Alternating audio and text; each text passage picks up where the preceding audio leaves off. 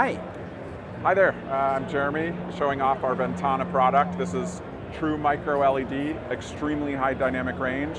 You can build any shape and size wall you want to create something over 200 inches, or go small, or go different shapes and sizes. Uh, is it over 200 diagonal? This is over 200 diagonal. This is about 220 inches. Uh, we're actually feeding this on the HDMI booth with an 8K video signal on a physical 6K uh, size screen. Uh, so the processing that lives inside these tiles can actually upscale and downscale. And I'd like to show you the form factor of this as well. This is so cool. There's a, there's a bunch of tiles in there. Exactly. Right? Uh, and uh, if we can have a look right here uh, against the wall, you're showing them. So what, what do you see here? So the large display is made up of many modules of micro LED, and these are put together in a very interesting form factor. So we have a square tile that's about a square foot, 300 by 300 millimeters. It's extremely thin, and it goes up on a very simple magnetic grid. So we put a grid on the wall for the tile array. There are no cables, very simple magnetic connections, and it's very easy, even as like a almost a DIY TV, uh, to take these on and off the wall and build up any shape and size you like. So a bunch of magnets here and some pogo pins, or what Correct. do you call those? Yes, and exactly. And they all connect magically. They magically connect. We make an auto mesh between all the tiles. They're very simple to put on. Just clicks, Whoa. that's it. I could do it. You can do it yourself. And then the tiles energize, they talk to each other, they know who's to the left, who's to the right, top and bottom. You can mix them. And you can mix any shape and size you want. That's awesome. Nobody does that. Nobody. This is the only display product like this on the planet. Uh, how do you make sure nobody pulls them off and takes them home? That's a good question. Uh, for a commercial application, we do have a little safety on the back so that you can do exactly that. Uh, so we have a mechanism here uh, that can actually screw in so that the tile can't uh, be removed, like with a safety wire. And you need access behind, right? Uh, you could do a safety wire, like uh, the if you're old enough to remember going to the bank and having to write the deposit slip with the pen, uh, and it has a little chain on it. We can do a safety wire, so you might be able to pull the tile, but it would uh, it would not come off the wall. but also, when you build a large array, uh, there's no way to physically actually grab the, the edge of the tile like we have on this demo. Uh, and so you would need special uh, maintenance tools to take the tile off. All right. So there it's obvious there's a, a delimitation because it's two different videos. And I, I, guess, does it have to do with calibration to get rid of uh, any visual, uh, what do you call borders? Or how does that work? Yeah, so we, we have an array of the tiles, and so every individual uh, module there, there's six in every single tile. Each module gets individually calibrated for every red, every green, every blue of every single pixel. This metadata is actually stored in memory in the tile, so when they're all connected, they automatically calibrate themselves to know where they are in the array and what colorimetry they're supposed to have. And we're showing here, these will look visually different um, because we're showing both finish options that we have. So some applications people prefer a matte finish, some applications people prefer uh, a glossy finish. So the glossy we call liquid black. This has the deepest black level, very similar to an OLED TV. And this is fantastic for the best high dynamic range, wonderful for any kind of environment where you need that very deep inky black. Uh, so I'm just standing here uh, in front of this trailer, right? Uh, yes. And this is glossy, I can see, right? Yes. This is glossy. We felt for a trade show we wanted to stand out a little bit more. Uh, so this is something very large with the glossy that it does have some glare because of all of the trade show lighting, but it looks more like an OLED TV than looking like something technical that might be in a conference room. And so we thought this was a very uh, innovative surface finish. When it's glossy, there's also the risk you might see the, the separations a little bit more than when it's matte? Yes, correct. So when it's matte, you don't see anything? When it's matte, you don't see those at all. So that's a trade-off that you have yeah. to make when you make the, uh, the choice between the surface finishes. So when I go here to the matte, uh, I need to be very, very close to see anything, right? Uh, at any kind of like distance, it'll be impossible to see right? Uh, because I'm talking about those huge lights that exactly. are up in the roof. And uh, CES always has these huge lights. Yes, exactly. And uh, you're so, fighting with that a little bit. Exactly. We fight with that a little bit on the trade show floor, but typically in a living room you wouldn't have those types of lights, so we don't have the same uh, type of uh, glare on the edges. And you say 8K, you, you mentioned 8K. Yes, we can ingest 8K. We can also actually run rasters that are 16K and 32K even. Uh, the background of our company uh, Ventana is the brand name of these micro LED tiles. Our company is called Megapixel, and many of us have been in uh, even the filmmaking industry for 20 years. And so a lot of the tile technology as well as the processing technology that's built into this is actually used for motion picture production. And so we're bringing cinematic technology into the home and you're getting the, basically the best possible picture quality that you can in the world. Uh, what do you think people would want to have uh, glossy or matte at home? You know, if somebody has a big enough wall for this, what are they going to choose? Uh, I, you know, I feel sometimes like that's asking somebody if they'd prefer a Ferrari or a Lamborghini. Um, everybody has personal choice uh, when it comes to things. I personally would do the liquid black because I love the very, very deep black level. Um, I think it has a, a, surface finish that's unlike anything else. Uh, but let's say you're putting something in your home where you're not watching movies. Maybe you want to display artwork uh, down a hallway and you want a square display or a portrait display. For artwork, absolutely you would want the matte version because that would be uh, more uh, reflective in feeling uh, for the light. If it's, in a if it's a home cinema, mm-hmm. you're probably not going to have CES lights in your living room. Exactly. If, the, if, if, this is dark, for dark. home cinema, uh, the, the inky black uh, amazing HDR that you get with the liquid black is the way to go. Nice. This is awesome. Uh, so this is a thanks. great tool for architects. It is, absolutely. Uh, thanks for pointing that out. So one of the things that we did when we designed the system is we wanted the shape and the tile to actually mimic uh, a building material. So the, the reason that we chose a square tile and that we made it exactly the, the, the thinness uh, that it is is because we wanted an architect or an interior decorator to pick it up and think about it as a building material. Could, could you so, pick it up and just uh, show yes, it right here? Yes, uh, let me, let me yeah. grab one for you. So the shape and size of the tile is very, uh, very much the same that you would have for a marble tile or a ceramic tile. Same thing with the thickness. So this can actually be treated as a building material and an architect can design this into a space. This can be everything from uh, a 30 foot long kitchen backsplash to an entire wall. You could do a ceiling. Uh, you could wrap around columns. You could wrap around a fireplace. Uh, really anything where you can put wallpaper uh, and paint and drywall and, and stone, you could do a media tile as well. So one thing I'm afraid to ask, right? Uh, but uh, the eventual dream is that these are not too expensive. Correct. So to, uh, in today's market with this technology, it is indeed still expensive.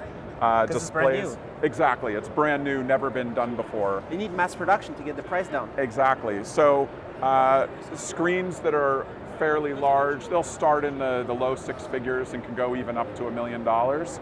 Uh, this particular tile, though, we absolutely will see over time uh, will come down in cost, and this is something that uh, you know eventually maybe you'll buy at a tile uh, section of Home Depot or uh, at, a, at a Best Buy shop and walk out with 10 tiles. At the Costco. Exactly. You just go to the aisle 11, uh, the shelf, and you just get your thing, and you put it directly in your in your Cybertruck yeah. uh, trunk or something, and then you just exactly bring it home. Right. And uh, and in terms of square meter or mm-hmm. square feet, what would be great is eventually, if okay, you cannot match the LCDs maybe, but an OLED or something like that. If you can get the, that kind of price yes. as a home OLED 65 inch in terms of price per square feet. That's exactly right, and it absolutely will go there. So in today's market for television application, uh, this is definitely aimed at anything much larger than 100 inches because a TV cannot be produced uh, much larger than that. Uh, but absolutely, eventually you'll be able to just build any shape and size TV that you want. Uh, and you're not limited by making it 16.9 either. How many other of these there? Uh, this is 16 tiles wide by 8 tiles tall, uh, giving us a diagonal of roughly 215 uh, inches. And that's, uh, uh, you say 8 times 16? Oh, what do you Correct. say? 8 times Correct. 16, so that's... so if my math is right, is that 144? 126? 126. What is it? I'm, 128. There we go. 128. Yeah. Third time's the charm. so there's 128 of these for between six figure and a million. So uh, people can calculate yes. basically, right? Yeah. And, uh, yeah. This would be sort of somewhere in the middle. All right. And uh, do you get 4K with that many, or you need even more to do to do 8K? You go. to do it's- 8K. I mean. It's actually uh, even bigger. This size screen is about 6K resolution native. Uh, so we're able to either bring in 4K content and scale it up, or 8K content and scale it down. And so to do the full 8K, you need a few more of these, Yes. right? Yes. You'd go a little bit bigger. And where is the processing happening? Do you have a huge supercomputer behind with the That's NVIDIA a good question. and everything? It's very simple. So uh, you can be playing back content off of uh, a computer, uh, something like an Apple TV, uh, Blu-ray, uh, PlayStation, all these kinds of things. So any kind of normal source. Uh, we're here in the HDMI booth, so certainly anything with an HDMI output uh, you can plug in, and it's just plug and play. Um, and then that goes into a processing unit uh, that I can show you in this credenza here. It's one RU, and that one RU can process 35 million pixels in any shape and size, so a couple hundred of these tiles easily. All right. Let's uh, let's ask uh, just behind here if you can. Uh, Do you mind if I uh, access this? do you want to see under here? There's like the the processor that runs the whole uh, screen. All so right. let me move some things Oh yeah. down here. So that's the that's the render. So, so this is the this is the processor. Let me peel this off here. yeah. So, I our company. Megapixel, manufactures this. This goes into uh, digital cinema. This goes into screening rooms. This makes blockbuster movies. We're driving a lot of virtual production, a lot of uh, broadcast studios, uh, other booths, even here at CES that have third-party LED. We drive with this. So we've been in the professional display industry for many, many years. And Ventana is the first tile that we're uh, launching as a consumer product. So people know megapixel out there. Absolutely. Yeah. Uh, and you can even go buy an LG uh, micro LED or Sony micro LED that will come with a megapixel processing system. Oh wow. So micro LEDs that are coming, you're there. Yes. This Yeah, is we're at the zero- center of all of it. 0.8. This is 0.8. Dot we pitch, also right? correct. We also have a 1.2 millimeter launching later this year uh, for larger arrays. And how about going even smaller? Does that make sense? It does make sense. Uh, one so of the things fit 8K in there. You could fit 8K in there. So one of the things that we've focused on is that we like the, the 0.8 because it's a good ratio of being very high resolution but having good black level uh, and allowing somebody to go very big. Um, when we go smaller dot pitch, it is more challenging to have a, a, an amazing black level like we have with the 0.8, and then the cost goes even higher because the cost per pixel really is what you're paying for. So this seemed like a good sweet spot for us to start with. Uh, uh, do you work with partners to uh, the technology might, might be used if mass transfer, or how does it work the, to actually manufacture these? That's a good question. Um, we don't talk about that publicly, uh, but what I can say is that uh, everything is manufactured under our own designs, our own controls, and factories that we, uh, we have staff at. Uh, everything is made um, in a full stack where we own the hardware design, the firmware, the software, all of the programming and the processing. So uh, it's a little bit akin to like uh, an iPhone where one company that's able to design every single aspect of hardware and software can kind of make one plus one equal three, and that's what we've done with this product. And where is that? Do you make it? We make all of the processing actually in California, uh, and the tile is produced in Taiwan. All right. So uh, that means uh, it, I, I don't want to ask the secrets or anything, but it could be like an ASIC or FPGA or something that kind of. Uh, Yes, exactly. So, so we have uh, we have a large uh, SoC that's in the, the main processor.